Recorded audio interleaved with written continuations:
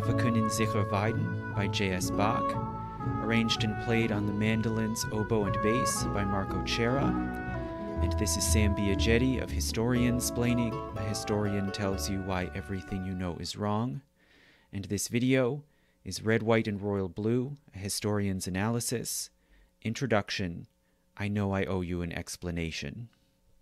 So, some of you watching right now might be regular listeners to my podcast and know a bit about the things I've talked about from the Middle Ages, early modern history, sometimes contemporary politics, the British royal family, the British monarchy. Others might be fans of the movie who are just seeing and hearing from me for the first time. So, just to give a little bit of context, my podcast, which I've been producing for several years, is overwhelmingly audio lectures. And I only recently started experimenting with making videos. And I started last year with a series on the history of architecture.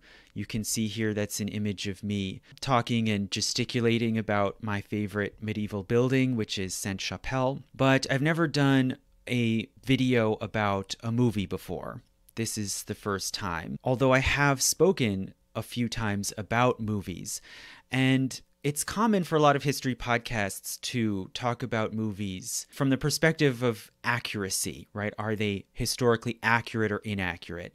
And that's not really what I have focused on. I'm more interested in how movies show the process of myth making, right? Of people making, defining narratives to make sense of the world around them. And that's the kind of movie I am I gravitate towards.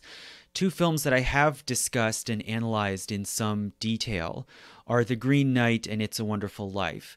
So, The Green Knight, of course, is based on a story from the Arthurian mythos, and It's a Wonderful Life can be seen as kind of a quintessential American myth, a myth of the American middle class. Furthermore, I think you can see certain common themes in those movies and the one I'm going to talk about now, Red, White, and Royal Blue. All of them deal in some way with young men coming of age, trying to find their place in the world, prove themselves. There are also other particular points of similarity. You know, The Green Knight deals with royalty and the relationship of someone to a king and how that presents challenges for their life. The Green Knight centers on Sir Gawain, who is the nephew of King Arthur. Course, Red, White, and Royal Blue deals with the grandson of a king. And when it comes to It's a Wonderful Life, that one is, of course, a different setting, but Red, White, and Royal Blue also is about America and about status anxiety and about historical crossroads, the future, who will lead America and define America.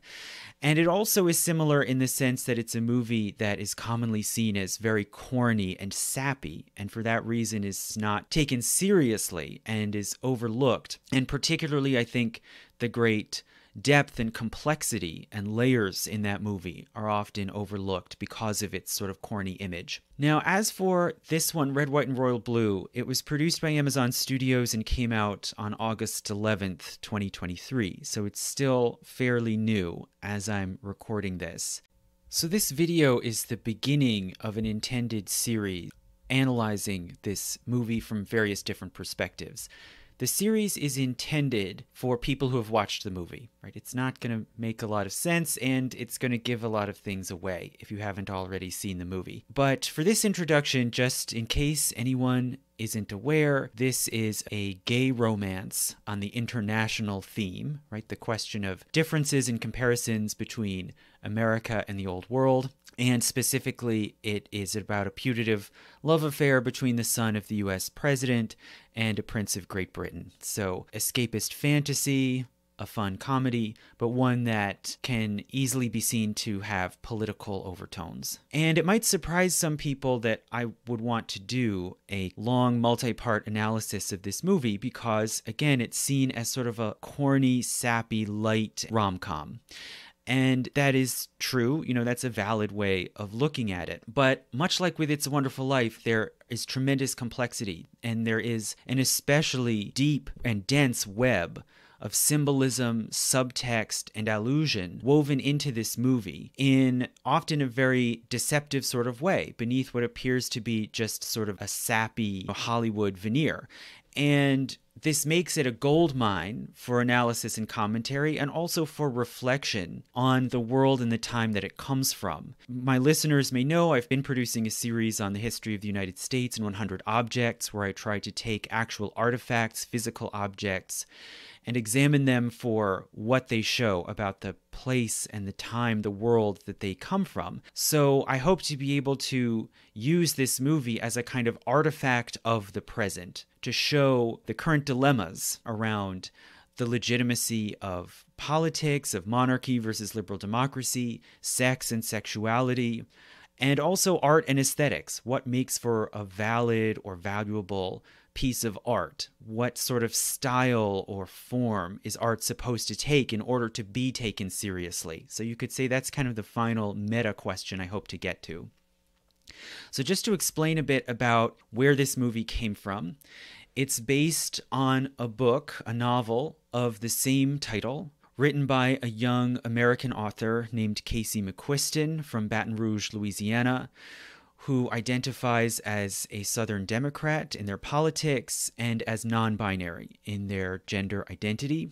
This book, as published in 2019, is 421 pages long. It is practically a tome.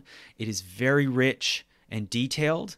Whatever other strengths or weaknesses one might see in it, it is very rich, and the author really pays close attention to historical allusion and context, and especially to the sense of a sort of gay past that has to be constantly recovered and reconstructed.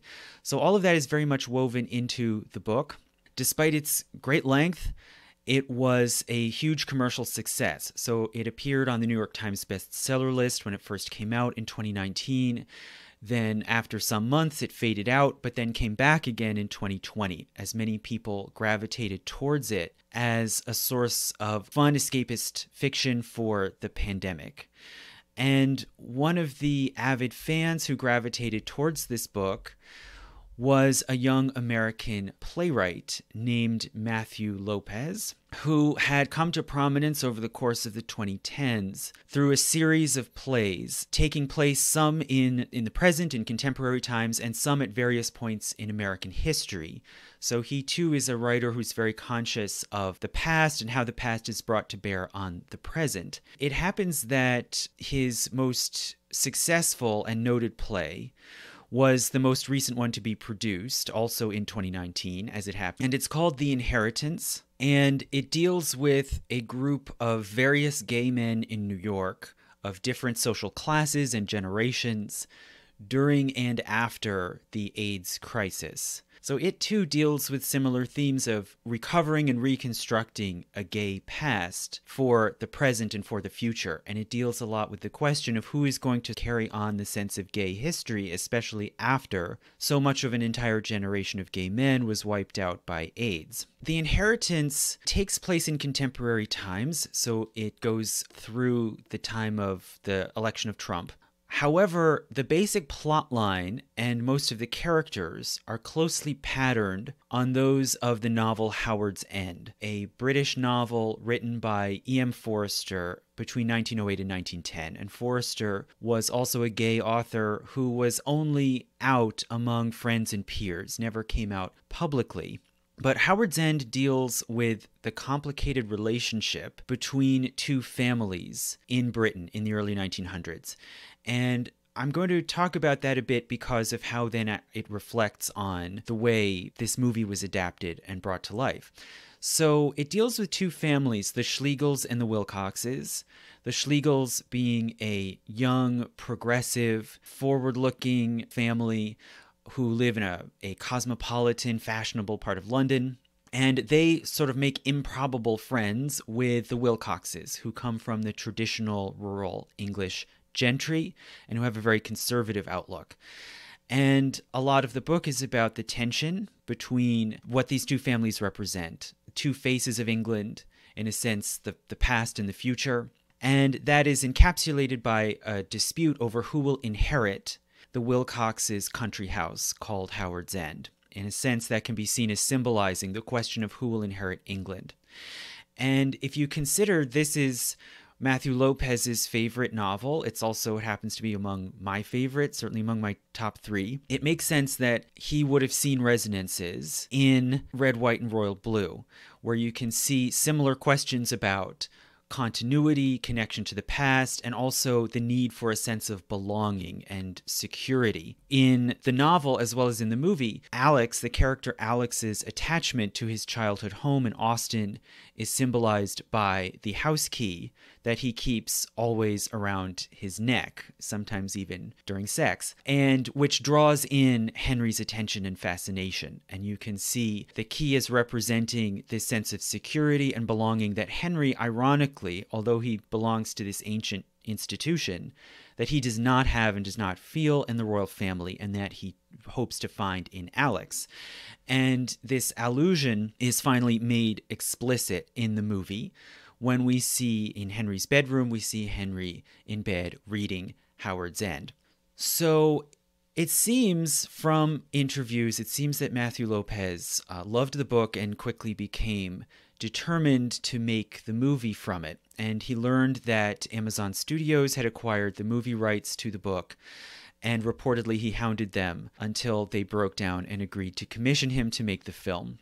And he started this process early on by casting the main characters. And it seems he was really insistent that they had to have exactly the right actors to play these two characters. So he cast these two Schmendricks, who you see in this picture. Uh, on the right is Nicholas Galitzine, a British actor of Greek and Russian heritage, who was cast to play Henry, and that was done, it seems, very early on. And then it took longer, a much longer search to find Taylor Zakhar Perez to play Alex, and he's an American actor from Chicago, from a large Latino and Middle Eastern family both of these actors had appeared in films before. Nicholas Galitzine had been in various art house sort of movies like High Strung and Taylor Zakhar Perez in The Kissing Booth, but neither one was a big, widely known star. Both of them were pretty new and unknown.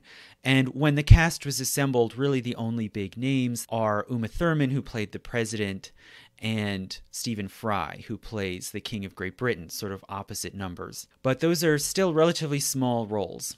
Now, in addition, of course, to the cast, Lopez assembled a production team with some interesting and notable personalities. One part of the team who has garnered a certain amount of attention and praise and who's been interviewed on podcasts is Robbie Taylor Hunt, the intimacy coordinator. So that's a relatively new role in filmmaking. Some of you might not have heard of it before, but it's a sort of specialized assistant director who is brought in specifically to help actors deal with physically intimate scenes, sex and otherwise, to make them comfortable and also to help them bring these scenes to life convincingly and he's received a lot of credit and a lot of praise for what people see as the highly convincing and realistic physical chemistry between the main characters.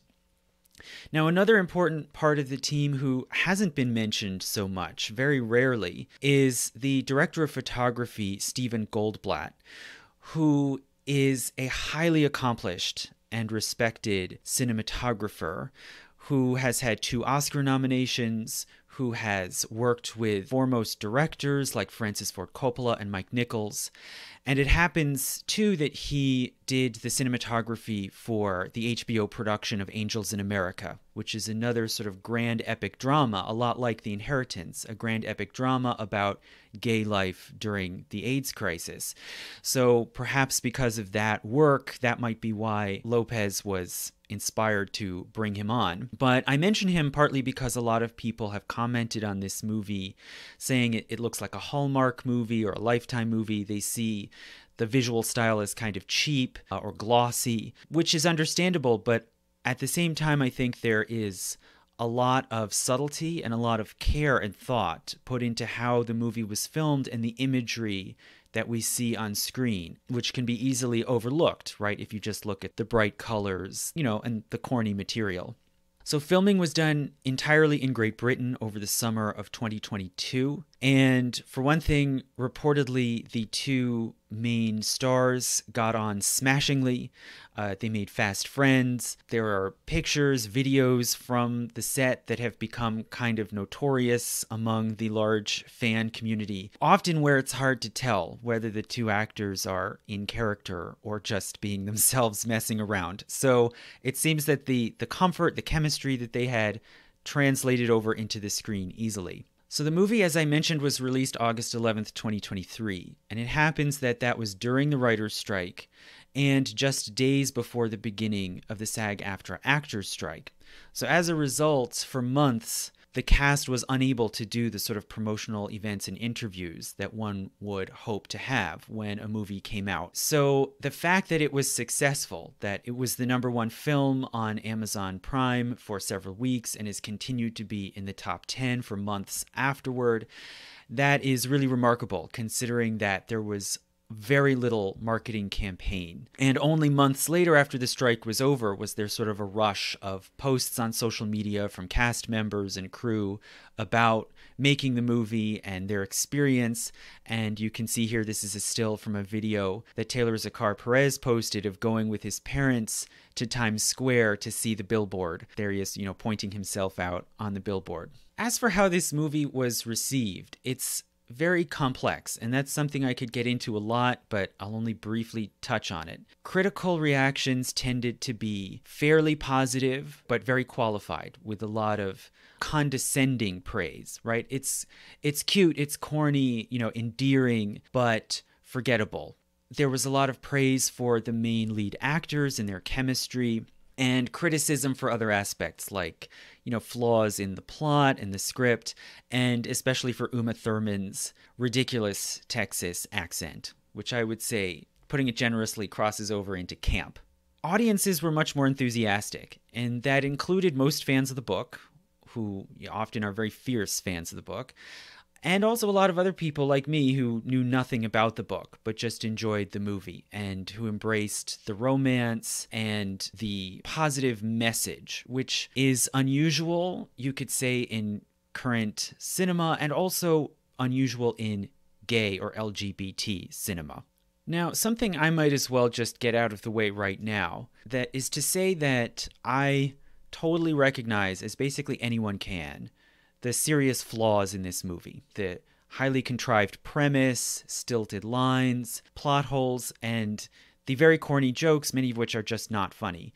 Uh, that I think that all of those flaws are really obvious. I'm not here to deny them and I'm not here to apologize for them. I'm not going to say, as some other fans do, oh, well, it's a rom com, what do you expect? I think that this movie aims to be something much more complicated and rich than just a cute rom com. I think in many ways it succeeds in that, but it still has these very serious flaws. Instead, I'm going to say, well, what does this movie have to offer and what can it reveal if we examine it more closely, if we do take it seriously, despite its sort of unserious appearance and trappings? So, another major point that a lot of commentators, both critics and laypeople, talked about about this movie is the depiction of sex. So, sex is important in this movie. I'm going to talk about it somewhat delicately, as best I can for YouTube, but it is important. It comes in early in the story, which is unusual and noteworthy for a rom com. It is not saved up to the end, it comes in fairly early in the plot. And specifically, there is a sex scene that takes place in a hotel in Paris, and it's around the middle of the movie. And many people have pointed out not only how artistic and intimate and tender this sex scene is, but also how realistic it is. And I will say that is one of many things that jumped out at me about this movie. This is, I would say, the most realistic, most accurate depiction of gay sex I've seen on screen anywhere.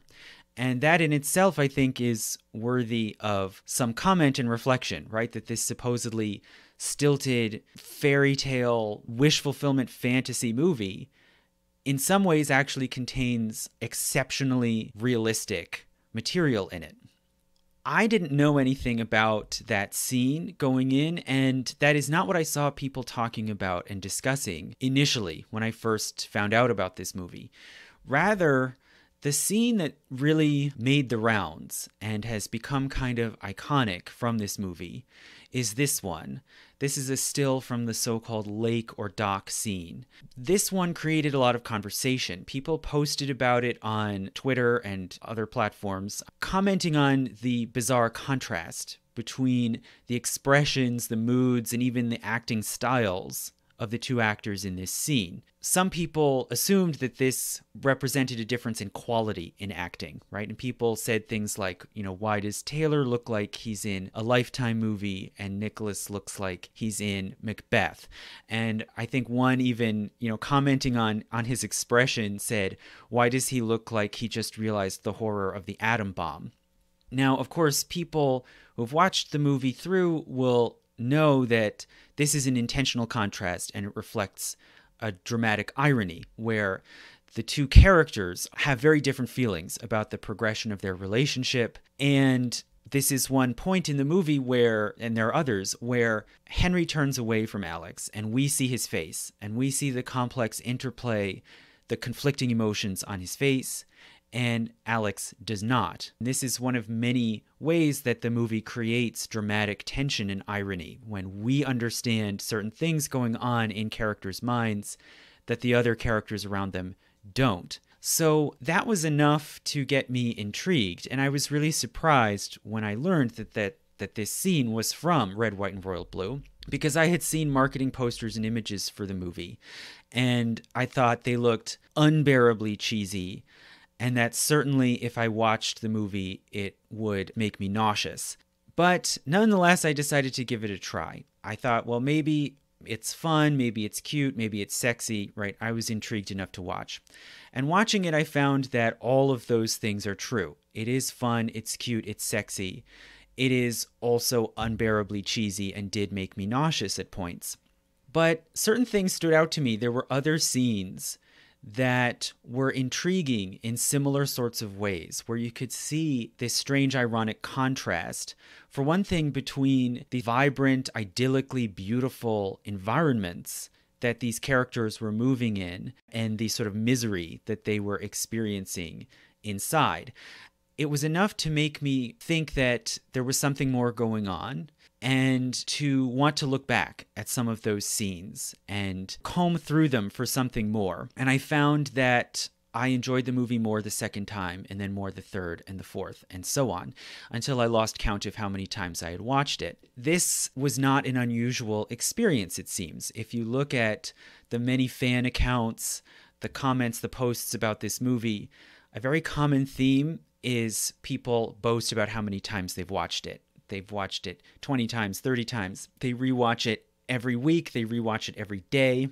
This sense, I think, is captured pretty well by a thread on Twitter by a, an account called Pyramus underscore Thisbe. This person wrote, quote, I don't think any movie touched me the way Red, White, and Royal Blue did. There's so much layers in it that you keep discovering even months later. And then they go on, quote, analyzing my favorite movies is my favorite thing, and I don't think I've ever analyzed something as much as I did with Red, White, and Royal Blue, and it's just a two hour movie. Now, one could say that these are just sort of insane lowbrow fans who are charmed by the pretty faces, the romance. Fair enough, but I am here to say there is much more going on here, and there are reasons that need to be investigated why this movie is so compelling to certain people and why it not only holds up to repeated viewing, but rewards careful examination and analysis. And if we look at the movie reviewing website Letterboxd, Red, White, and Royal Blue does not appear at the top of the list of highest reviewed movies in any category for 2023. However, if we look at the list of top 10 most rewatched movies of 2023, this one comes in at number three after only Barbie and the Spider Man movie and ahead of Oppenheimer. So I think there is a disjuncture here that, in and of itself, requires explanation. So I think there is a real disjuncture here between sort of right thinking highbrow opinion that this is just a throwaway piece of light entertainment and this widespread reaction of fascination and obsession. And I think that there are good explanations for this that lie in the hidden and encoded layers of this movie. I would speculate that this movie may actually be, in a sense, the first of its kind, the first of a new sort of film, which is specifically made for streaming rather than for theatrical release. And the fact that it's made for streaming means that viewers are able to rewatch an unlimited number of times at their leisure, and hence very subtle encoded meanings and references can be woven in with the hope that viewers will find them that they will be seen and and understood at some point. and i think that that's what the movie makers did here and partly that is also a function of the adaptation process. So, as I said, it's a very long book that is very rich and layered. One can see how the basic plotline is highly contrived, right? It's an escapist fantasy, a romance between the son of the US president and a British prince. Yet, in the richness and detail, these characters do, I think, begin to come to life and take on a multidimensional form. Then, when it was adapted into a movie, all of that material had to be somehow distilled down into not only the film medium, but into only two hours. And the movie makers, I think, went about this in a very conscious and intentional way, working in layers often of metaphor and allusion that in the book are more explicit where in the movie they become more subtle and more implicit. It's kind of the opposite of how we tend to think of the relationship between books and movies. So, for this reason, I think rewatching and analyzing and trying to understand this movie and the things it conveys is fun, it's rewarding, and it's revealing. So, this sort of analysis can be revealing, for one thing, just in terms of how the characters are constructed. And while this is clearly an escapist fantasy, it's highly contrived. I would argue that the main characters of Alex and Henry actually do come to life as remarkably vivid and convincing real characters. When I try to describe this movie, it brings to mind a famous poem by the poet Marianne Moore, who wrote a poem simply called Poetry, where she starts off by saying, I too dislike it. It all seems uh, wasteful, frivolous, and yet within all of that, you can find things that are genuine and that speak to you as real, just as much as in other more technical, realistic forms of text, like census reports.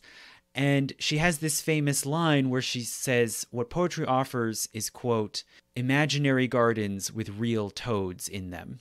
So, on one level, you can see this movie as presenting an imaginary garden with two remarkably real toads in it, right? Alex and Henry. But aside from that, it also, I think, is a meditation, sometimes intentional and sometimes completely unintentional, on, as I said, morality, sex, politics in our own world. So, what I want to do now, just in the rest of this introductory video, is just briefly point out a few of the sort of contexts in which this movie can be seen as significant and meaningful. And then lastly, give a couple of examples of highly crafted, highly conscious symbolism and subtext that is worked into this movie to sort of show that I'm serious, right? Fire a warning shot, show that I'm serious. And then I'll save the rest of that to the later videos, which I'll sort of briefly forecast at the end. So, one fairly obvious context in which Red, White, and Royal Blue is an unusual and distinctive movie is simply as a gay romance. And it can be seen as significant, firstly, just in the LGBT context. And I'll address that now and hopefully get it out of the way so we don't have to dwell on it. But it's significant that there are distinctive challenges that gay romances have to face that set them apart from heterosexual romances. One of them is the fact that a gay or lesbian romance cannot rely upon gender difference as a source of tension and friction. And that's, of course, one of the great common themes of romantic comedies. Two lovers come together, but there's tension and confusion because they have different perspectives and sensibilities. One is a man and the other is a woman. Well, obviously, a gay and lesbian romance can't do that. And that creates a challenge where, in order to be compelling and to have that kind of tension, the romance really has to effectively develop and emphasize the different personalities and different worldviews of the two lovers. Without that, it's going to fall flat. So you have to have a certain degree of psychological complexity and psychological realism to really make for a compelling story. So there's a higher hurdle there. But then that leads to a further challenge, which is what does it mean to make a movie realistic? If you try to develop that psychological realism, then you have to ask well, what about the social realism of the social context around these lovers? You have to acknowledge that homosexuality is controversial. It's been a subject of dispute. There are problems of law and family formation and discrimination. And so there's this constant question of how much do you address and include those things in the story? How much do you need those things in the story in order for it to be serious, to be compelling? And if you bring those things in, at what point do they then overwhelm the actual core of the story, which is simply the love story, right? The charm, the fun, the attraction of the romance itself. So it makes for a very difficult balancing act that I think very few movie makers have gotten right. And it's interesting, I think, to have that in mind when you look at this movie, Red, White, and Royal Blue, and consider how they tried to strike that balance and maybe to what degree they were successful. Now, probably a lot of you know that there is a long tradition of LGBT films, and specifically of LGBT movies going back at least to the 1970s, that try to strike a balance between a personal story, a sort of fun comic story of personalities on the one hand, with a sort of social realism on the other, and political, more you could say serious political themes on the other. And you might think of classic movies like The Adventures of Priscilla, Queen of the Desert, and The Birdcage, both of which came out in the 90s, which try to sort of strike that balance. They are about LGBT life and all the problems and conflicts that come with it at the same time that they're fun, light, funny. Uh, but obviously, these are not romances. That balance, I don't think, has really been struck effectively in a romance movie. Now, over about the past 30 years, there has been a proliferation of gay and lesbian romances. So this is now a genre that many people have seen, including many straight people, right? And they've gained a wider audience. But as gay fans will tell you, of course, they overwhelmingly tend to be tragic. In order to be seen as a serious movie or a movie with appeal beyond the, the gay audience, they basically always end in tragedy. One or both lovers often die. That is the case with, of course, Brokeback Mountain, the first successful wide release Hollywood movie about a gay couple.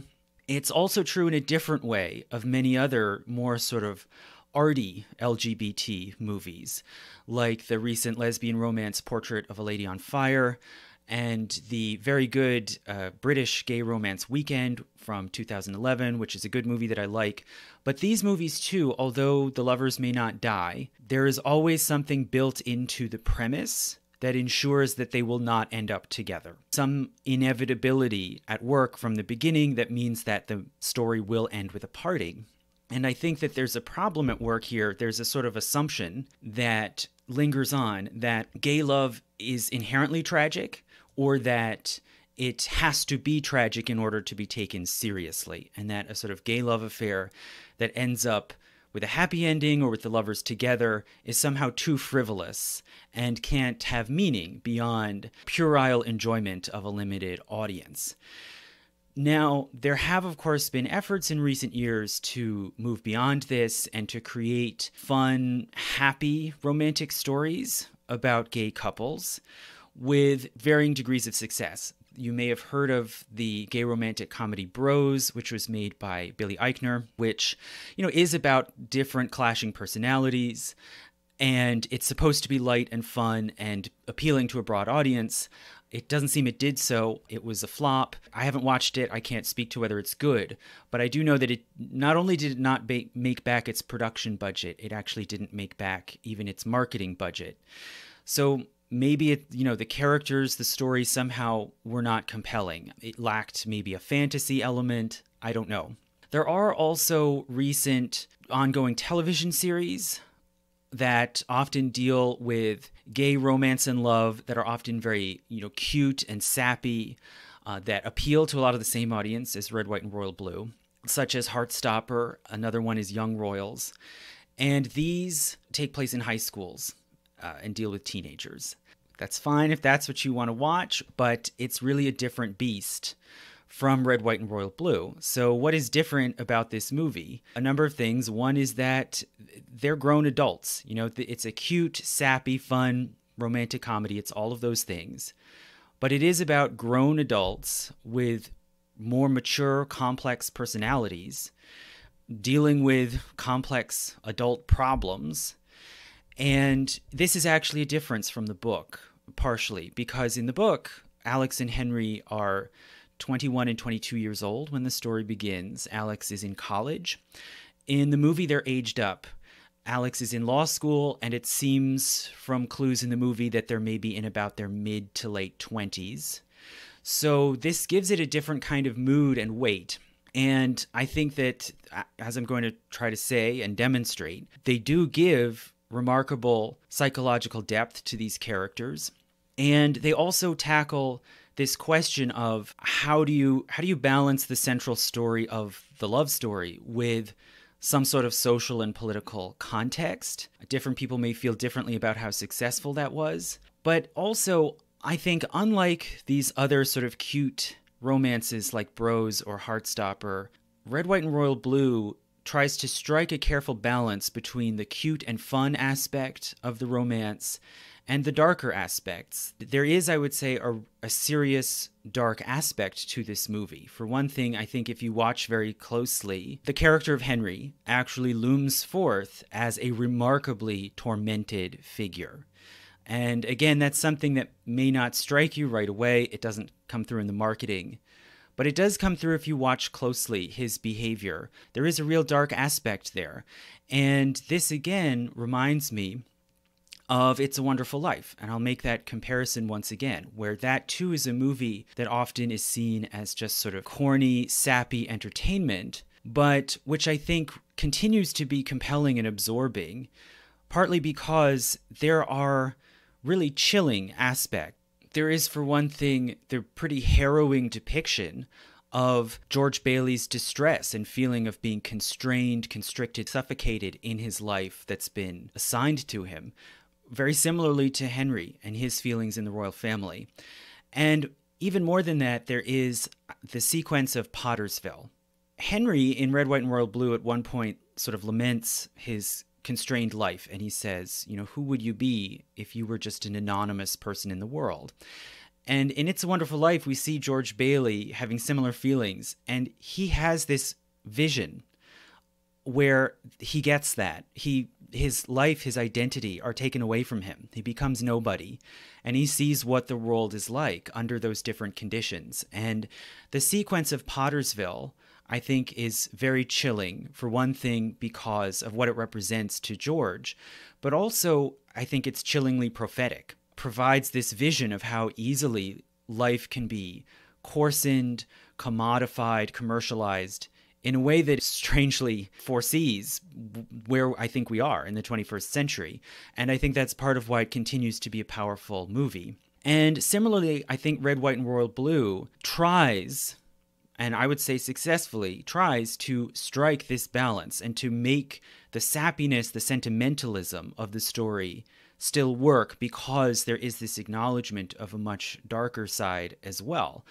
And I think that the proof of that success, ironically, is in the criticisms that have been made of Red, White, and Royal Blue, where on the one hand, many people criticize it by saying it's formulaic, right? Or they, they condescend to it, saying, well, it's formulaic. It's just a rehashing of the enemies to lovers trope. I don't think that's true. I think that that only describes about the first 30 minutes of the movie, right? And past that, it becomes a much more complicated story.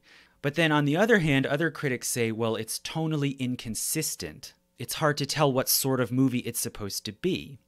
And I think that's ironic. I think these are contradictory criticisms, right? On the one hand, you know what to expect, it's all obvious, it's all there, built into the premise.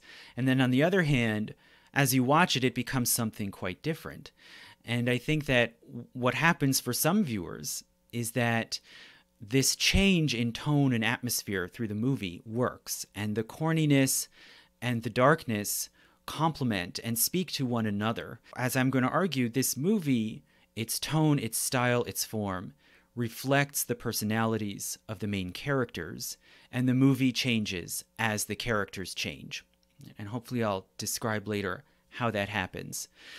So, for all of these reasons, I think that this movie it tackles and at least to some degree succeeds in overcoming these special challenges of a gay romance and creates something distinctive and alive. Now, let's say we put that aside. The other way that one can see the significance of this movie in context that I'm more interested in and will develop more later is to see it as allegorical, as making some sort of statement or reflection on, for one thing, the international theme, right? The relationship between Britain and America, or between Europe and America. And this international theme, this phrase is used to describe a sort of variety of literature that sprang up and became popular in the early 1900s. Masters of this genre are Edith Wharton and Henry James. And that was a time when America was first rising and becoming a world power. And there was a lot at stake, a lot of questions at stake about how this new rising nation would relate to the old world. My personal favorite novel is The Age of Innocence, which is partly on this theme. And you can see here a still on the left from the Martin Scorsese film adaptation of The Age of Innocence with Daniel Day Lewis with his face buried pretty deeply in the folds of Michelle Pfeiffer's skirt. And on the right, that's a still from The Golden Bowl, by Henry James, which was made into a movie in 2000 starring none other than Uma Thurman. Literature on the international theme tends to deal with sort of one side upsetting or corrupting the other. Often it's a sort of innocent, naive American being taken in and corrupted by decadent Europeans, or sometimes the reverse of innocent Europeans being sort of swindled by striving, grasping, ambitious, social climbing Americans. Often it's a sort of comment on the, the changing world scene and the changing relationship between these countries. And with Red, White, and Royal Blue, we can see this story as kind of coming at the other end of the arc, right? Now that America's position in the world is very much in question, and there's anxiety about supposed American decline. And I think a lot of the, the love affair between Alex and Henry can be seen again as a, a largely unconscious meditation about America, what kind of country it is, and where it stands in the world. Now, more specifically, of course, Alex and Henry, they're not just representatives of their nations, they're representative of their nation's governments. And they can be seen to stand in, in many ways, for monarchy and liberal democracy and the sort of tension and push and pull between monarchy and liberal democracy. And I think that this movie is part of a trend that I have described in my writing as pop culture royalism. A sort of rising fascination with the mystery, the magic of monarchy, and a sort of desire to borrow that sense of mystery and majesty to renew the mystique of the American Republic.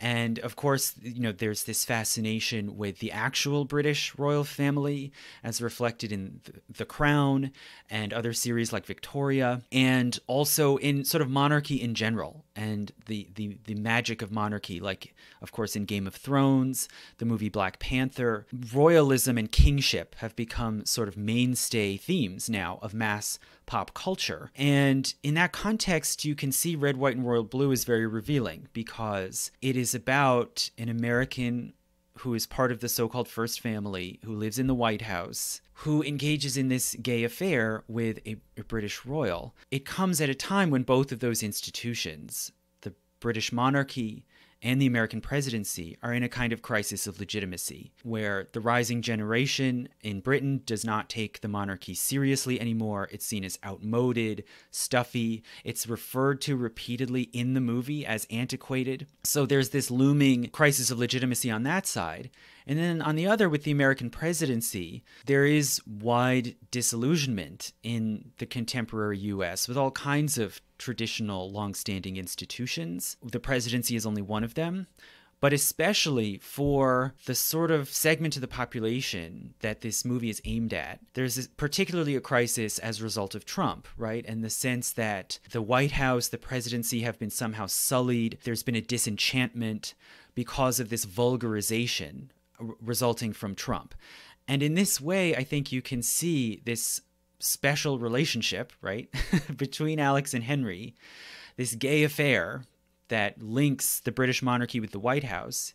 You can see this as a sort of effort by the authors and the movie makers to save both institutions by linking them together in this affair, to, in a sense, update and modernize the British monarchy to make it somehow cooler, freer, more authentic by means of a gay affair, and the American presidency by linking it to the British monarchy and to re enchant the American presidency by means of the royal touch, the magic of the royal touch, right? And that's a long-standing belief, or you could say superstition, in the old world that the king is a sort of magical entity and that his touch can heal. If you're suffering from something like scrofula, the king would touch you, and that was believed to have a healing power. And in this way, I think this movie is sort of borrowing the magic of the royal touch to kind of heal and re enchant American institutions.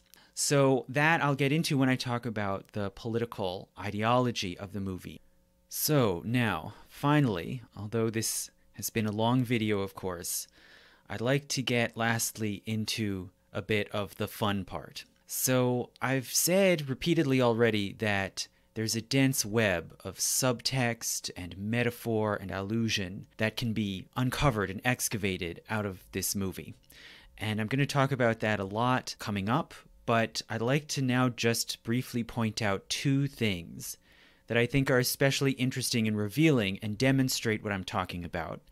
And the first one is just the first moment, the first shot that appeared in the movie that struck me and that made me sit up straight in my seat and say, I need to pay close attention to this.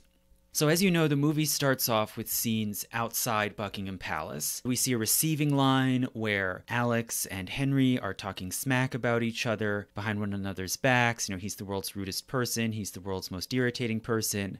And it culminates with Henry openly snubbing Alex. And that's all sort of cute and corny, formulaic. And then from there, it cuts to the first scene where we see Alex inside Buckingham Palace in the ballroom and it looks like this. Now, you may not be surprised to learn this is not really Buckingham Palace. Buckingham Palace doesn't look like this, it's much more understated. This actually, with some searching, I found this actually is Goldsmiths Hall, the hall belonging to the Livery Company or Guild of Goldsmiths in the city of London.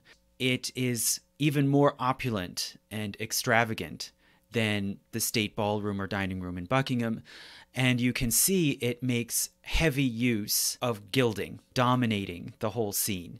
This shot really stood out to me because I think of how much it communicated so dramatically.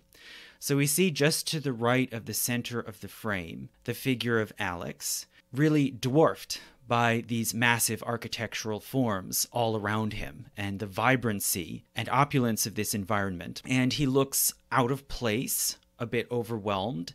He's probably accustomed to being the belle of the ball, and here he is now very out of place, and he's trying to compensate, right? His posture is ramrod straight, he has his chest puffed out, and he's clutching his glass of whiskey. That in itself introduces so many themes that then recur over and over again and are referred back to throughout the movie. The importance of interior architecture, the importance of alcohol as a social crutch and a compensation for anxiety. And I came to see this shot as sort of the establishing shot of the whole movie, even though it slipped in so briefly. It's only on screen for about four seconds. And what's more is on the left side of the frame, we of course see the scene of the wedding reception itself reflected in this enormous wall mirror.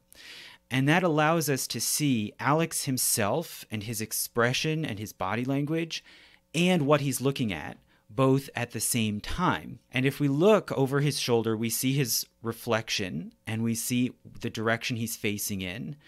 And the way the shot is set up, we can even tell very precisely exactly what he's looking at. If you look right into the center of that reflected scene, there is the figure of Henry. He is looking at Henry with this kind of pained expression, right? Fascination, anger, resentment. This sets up, I think, a lot of how we are supposed to experience the movie. We observe Henry through Alex's eyes, and there are so many scenes where we see him watching Henry from afar, as if studying him. And at the same time, we see Alex and we see how he is revealed to us through his obsession with Henry. And specifically, when I looked back at this shot, it reminded me of shots I've seen in other particular movies.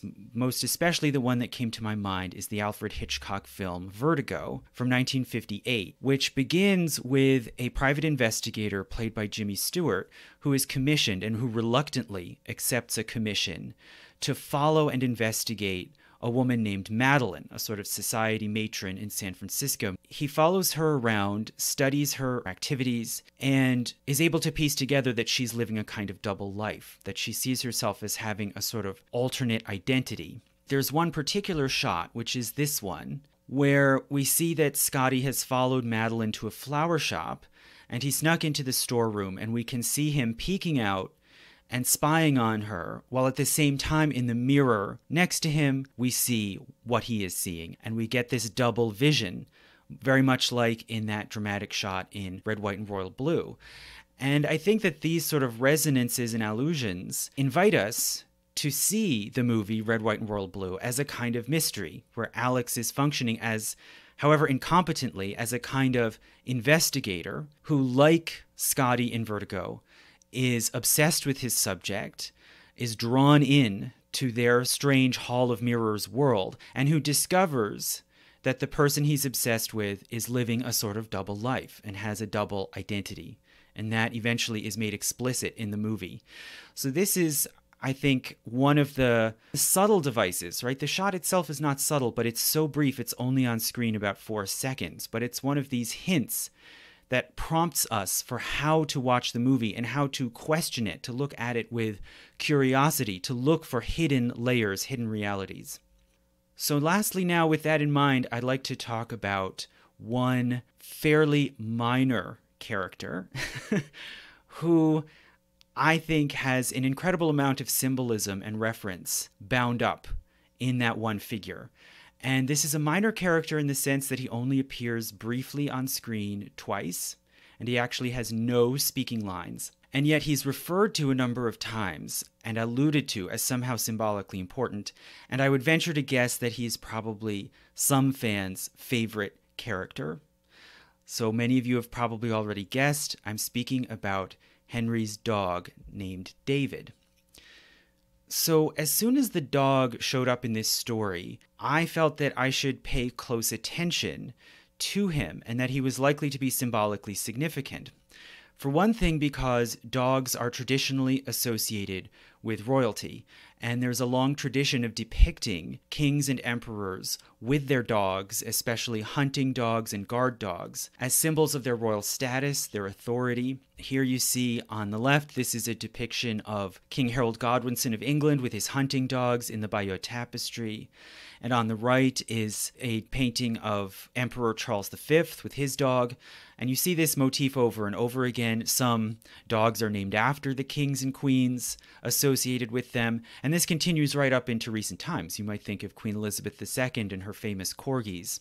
The dog also is a symbol of fidelity and loyalty. and hence in royal portraiture, it can be used to represent the relationship of mutual loyalty between the ruler and his subjects.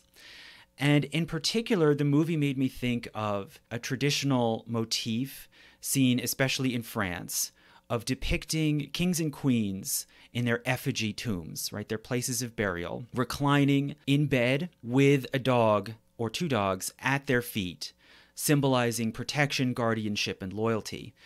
And the second point where we see David appear in the movie, he's in bed next to Henry, and it's very reminiscent of these traditional royal effigy sculptures. So, all of these things made me think that I ought to pay attention when the characters talk about David.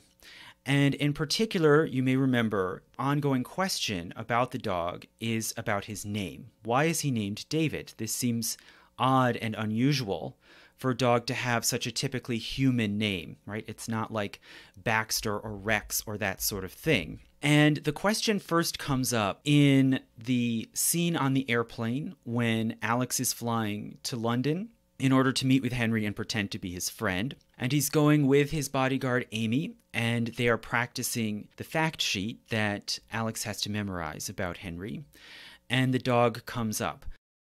What's the name of Henry's dog? David. I mean, really, who names their dog David? You know I have a Shih Tzu named Jonathan. I still maintain that's weird.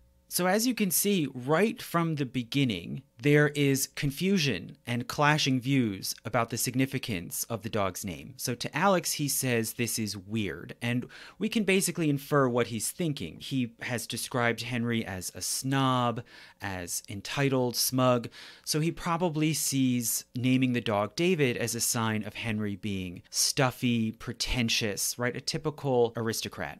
Now, immediately, as soon as he brings up this view, we get pushback from Amy. She sees it in almost, you could say, the opposite way. So Amy points out rather indignantly that she has a dog named Jonathan, right? So she maybe sympathizes or empathizes with Henry naming his dog David. But what does that mean to her? Well, we don't really understand. We only get a further interpretation, a counter interpretation of the meaning of the name when Alex digs in his heels and Amy has to respond further. So let's see what happens there. You know I have a Shih Tzu named Jonathan. I still maintain that's weird. That's my son you're talking about. He is super cute. Amy, because Alex digs in his heels and says it's still weird, Amy has to further explain and she says, that's my son you're talking about. So here we see she is anthropomorphizing her dog. She's talking about her dog Jonathan as if he was a human family member. And that goes hand in hand with her giving the dog a human name. So, thus, by analogy and by inference, we can say Amy is presenting a very different understanding of the meaning of David's name. That from her perspective, it represents something like the opposite. Not that he is stuffy or pretentious, but that he has an especially close bond with the dog, that he anthropomorphizes the dog and sees the dog as a human like companion. And if we further combine that with what we know about the symbolism of dogs in, in art and their association with royalty, we can say that there's an alternate meaning here Henry actually sees David as a human like companion and guardian. And that's underscored then later when we see Henry's bedroom. And over the two sides of his bed are these portraits of dogs in human clothing and human poses. So they're anthropomorphized. And furthermore, they're placed on either side of his bed, almost in the position of guardians watching over him. So here we have two very dramatically clashing meanings to David's name. On the one hand, there's Alex's presumptive meaning, which is Henry is stuffy and pretentious. And then we get this contrary meaning suggested by Amy that Henry sees David like a human companion and guardian. In this way, it seems as if David the dog is playing a sort of substitute role in Henry's life. He's being cast in the role of a companion, a guardian, a protector that Henry lacks, especially since the death of his father, which is also alluded to in this same conversation on the plane. So there's a lot at stake here in what we understand about Henry, how he operates, what sort of person he is. Now, that's two meanings. There's then a third meaning, which is very subtly alluded to in again in this same conversation, but it's a meaning that the characters in the world of the story couldn't possibly see or know about, but that is hinted at to us in the audience. So remember, Amy says that her dog is named Jonathan. So we have two dogs named David and Jonathan. Now, as I remembered after the second or third time watching the movie, and as some other fans have pointed out, David and Jonathan are a biblical same sex intimate couple. The story of King David before he was king and his intimate relationship with Jonathan is recounted in the first book of Samuel these two are described as very emotionally and physically intimate. There are passages describing them embracing, kissing, weeping together, declaring their love for one another. What is more, David shows interesting parallels to the story of Red, White, and Royal Blue. So Jonathan was a prince in the sense that he was the eldest son of King Saul, the first king of the Israelites. And as such, you could call him, although they didn't use these terms at the time, you could call him the crown prince, the heir to the throne he falls in love with and forms a bond with David, who at that point in time was not a king. He was just an ordinary shepherd's son. So he came from a, an ordinary low status background. And he rose to prominence as a warrior and war commander. He had to, unlike Jonathan, he had to prove himself. And you can see parallels here, of course, to the story of Henry and Alex, right? The, the prince Henry and Alex, who describes himself as an ordinary working class kid and who's very determined to take on challenges and prove himself in the world. And also, for what it's worth, David is described in the Bible repeatedly as very handsome and as a sort of uh, exemplar of male beauty. And that's a major reason why Michelangelo spent so much time and effort in his grand sculpture of David, as uh, sort of presenting him as a paragon of male beauty. And furthermore, he's marked out by his distinctive features of curly hair and enormous hands, which may look familiar again to fans of the movie.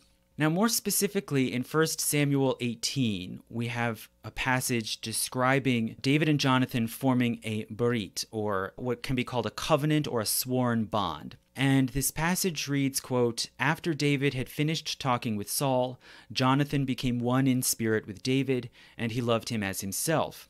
And Jonathan made a covenant with David because he loved him as himself. Jonathan took off the robe he was wearing and gave it to David, along with his tunic, and even his sword, his bow, and his belt. So, you know, many people have seen this passage as having some erotic suggestion to it, but it's also very important that Jonathan seals this covenant, this bond with David by the giving of gifts, and most especially his robe and his sword are symbols of his royal position and his claim as successor to the throne. And he is conferring or sharing this royal status with David by giving him these symbolic gifts. Probably many of you have already inferred, you can see here a prefiguring of the scene where Alex and Henry seal their bond with one another through an exchange of symbolic gifts, and it begins with Henry giving Alex his signet ring, the symbol of his royal position. So, what do we make of all of this? Well, in this way, you can see a biblical allusion coded into this same conversation in which the biblical meaning of David's name is invoked and used prophetically to foreshadow that Alex and Henry are going to be joined together in a bond, and that in this way, Alex is going to take David's place. So you can add this on to your list of meanings, right? Here's our third meaning. So there's Alex's meaning, Henry is stuffy and pretentious. Amy's meaning, Henry sees David like a human companion and guardian. And then through this biblical allusion, it's foreshadowed that actually Henry will gain a real human companion and guardian of the sort that he needs in the person of Alex. Okay, is that all? No, there's still more. so, lastly, there's a fourth meaning to David's name. So the subject comes up again later in the phone call scene, where Alex calls Henry late at night, and Henry says that he's staying up late in bed with his dog watching Bake Off. So, right off from the beginning of the conversation, the dog is alluded to and brought to mind again. And Alex remarks that Henry seems much more normal and human than he would have thought, and he again brings up the subject of David's name. So let's see now briefly the beginning of that exchange where David is brought up again. You're more of a human than I thought. Wow, thank you, Alex. That is so flattering. No, I just mean, you don't seem like the kind of person that would name their dog David. He's named after Bowie. Okay, so now we've gotten another meaning of the name. It's after David Bowie. So this indicates that Henry is a fan of David Bowie.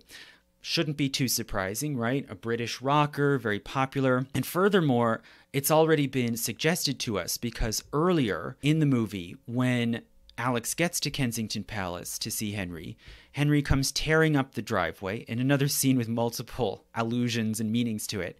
But he comes tearing up the driveway blasting a David Bowie song, specifically Up the Hill Backwards. The song sounds fun, it's upbeat, but there's also an oddity to it as well, because this song, Up the Hill Backwards, is a very unusual and relatively obscure choice. It is by no means among Bowie's top hits. It was never near the top of the charts. David Bowie never played it in concert. It's a song that most casual fans don't know, and really only aficionados talk about this song and sometimes comment that it's it's interesting, it's strange, it's complex. It has multiple changing time signatures and the lyrics are very obscure and oblique.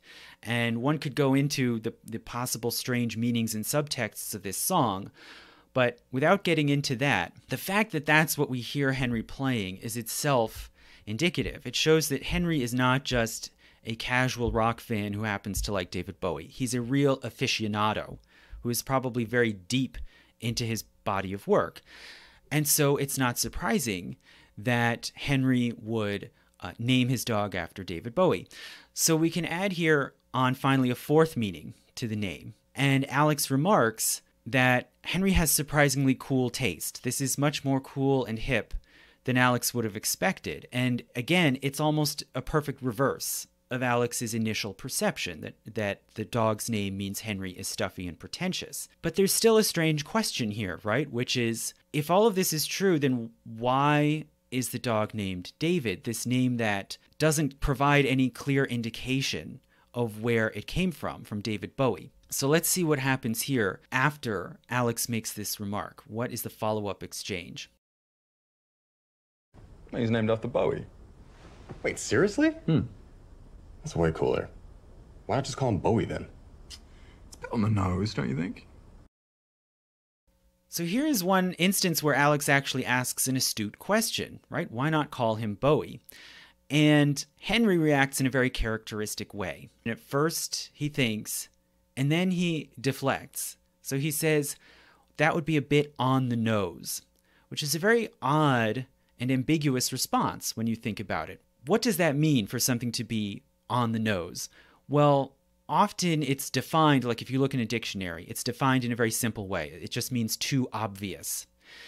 But for one thing, really, that's not actually how people use it. It has a much more specific and narrow meaning. It's used when someone says something too explicitly that is in some way awkward or uncomfortable and that should be left unspoken. That's how I would describe it. I put out to my followers on Twitter, how, what do you take it to mean when someone says something is too on the nose or a bit on the nose? And one of my followers made a very nice response where he said, it means, quote, when a euphemism is expected, but instead the actual meaning is laid out clearly. So it's uncomfortable in some way or inappropriate when something is too on the nose. You're supposed to keep certain things beneath the surface, unspoken, unacknowledged, or use a veiled euphemism. So Henry's response in this way indicates that that's what he's doing. He doesn't want to reveal clearly that he's a big fan of David Bowie. He wants to use somehow an oblique or veiled reference. Why would Henry want to do that? At first, of course, I was very dumb and didn't understand. And finally, I saw a discussion in a YouTube comment section where someone pointed out, well, of course he doesn't, because David Bowie was famously openly bisexual and cultivated a kind of androgynous or genderqueer persona. So naturally, Henry doesn't want to call too much attention and associate himself too much with a figure like David Bowie. And so he's using this veiled oblique reference. So, what does all of this mean? Well, as I've said before, this movie reflects the personalities of the main characters, both Alex and Henry. And we have to understand both dimensions of the movie. So, on the one hand, this is very much Alex's movie. It is expressive, demonstrative, often corny, uncouth, and it moves at a frenetic pace. In all of these ways, it reflects Alex's personality. And all of that, I think, is, is fairly obvious. At the same time, it is also Henry's movie. It reflects Henry's personality. The fact that it presents a glossy, overly perfect manicured veneer under which are layers and undercurrents that are kept often hidden and only hinted at through very careful, oblique metaphors, references, subtext. So, gays and lesbians have historically been masters of code and double meanings, and Henry in many ways personifies that history. And the theme also pervades the whole movie, as can be seen even in the title, Red, White, and Royal Blue, which points to how the same symbol, this set of three colors, can represent both the American flag and the Union Jack, and hence can stand for completely different things for different audiences. And these multiple meanings always have to be disentangled and decoded. And again, part of how the movie works is we are invited into the role of Alex. And in some ways, we are invited to be smarter and quicker than Alex is, to investigate, to understand, to observe Henry and the multiple realities of Henry as Alex discovers them, right? And as Alex changes and evolves as he comes to discover and understand Henry. So that is the sort of investigation and analysis that I'm hoping to do and that I'm hoping viewers will come along and participate in with me. My hope is to produce five more short videos, hopefully shorter than this one, on different aspects and dimensions of the movie. So, this is my projected possible series. Firstly, part one, we really need to get you a book on English history, the historical context of Red, White, and Royal Blue. Part two, occasionally vulgar but genuine, the romance of Red, White, and Royal Blue. Part three, you still haven't noticed my tie, the visual and symbolic language of Red, White, and Royal Blue. Fourth, I do not need a lecture from you about idealism, the political ideology of red, white, and royal blue. And part five, it means you have good taste red, white, and royal blue, and genre, taste, and aesthetics. So if you enjoyed this or if you hope to see more of this, please share, spread the word. And lastly, I'd like to thank the various people who helped and contributed to making this video possible, including those who gave advice about programs and platforms to use, such as my producer Dan Rogers, the filmmaker Lily Dickinson, and the YouTuber Ethan Clark, who has made really wonderful reaction and commentary videos about Red, White, and Royal Blue, both the book and the movie, and I'll link to his channel in the description. Also, the classical musician Marco Cera, who gave permission to use clips from his performance of Schafe können sicher weiden, and I'll link to his channel as well so you can see his videos. And the Red, White, and Royal Blue fan community. As I mentioned in the video, some of these observations and points about the film I noticed myself, others I was guided to by other fans on Twitter and YouTube and other platforms. So thank you so much to the whole fan community. And finally, thank you to the 300 plus patrons of Historiansplaining. A historian tells you why everything you know is wrong, who have made it possible to keep this podcast going for years and made it possible to start this video series. Thank you.